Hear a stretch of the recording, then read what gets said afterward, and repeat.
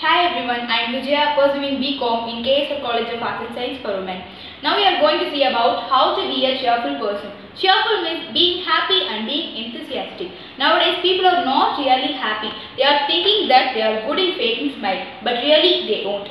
Our surrounding notice that whether we are happy or not by noticing our body language.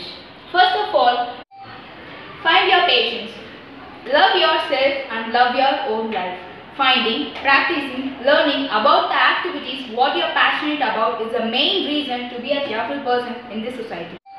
Second thing, be comfortable in your own skin. Why I am saying this means cheerful requires being comfortable and feel proud to be yourself, whatever the way you are. Don't strive or fight for perfection because nowadays no one is perfect. We are in a starting stage, so we should develop ourselves to be happy in this society.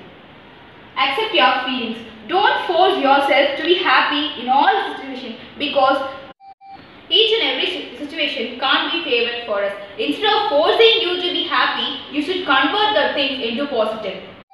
Look on the bright side. For example, you are having a bad day means don't react for that immediately because immediate reaction may cause in a wrong way.